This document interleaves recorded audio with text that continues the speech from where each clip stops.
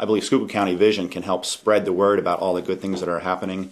and connect the various organizations that are here to, to help the community. I have a, a large interest in healthcare and health and wellness, so I'd really like to see that the county become a little bit more health conscious and just uh, start to do things to improve their health.